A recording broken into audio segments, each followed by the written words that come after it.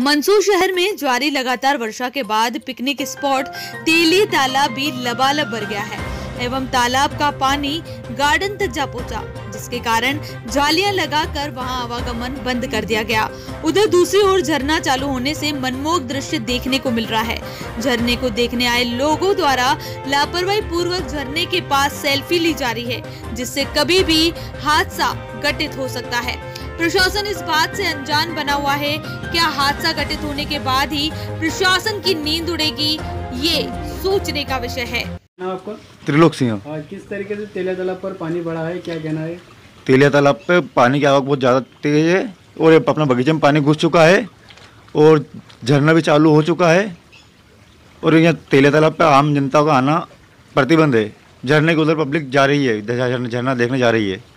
आवागमन किस तरीके से बंद किया गया जाली लगाकर ये जाली लगा दी है जहाँ पानी भरा गया वहाँ जाली लगा दी? सब दो रास्ते बंद कर दिए जाली लगा के। ये अपना ये जो पैदल पुल है इस पर भी जाली बाँध दी।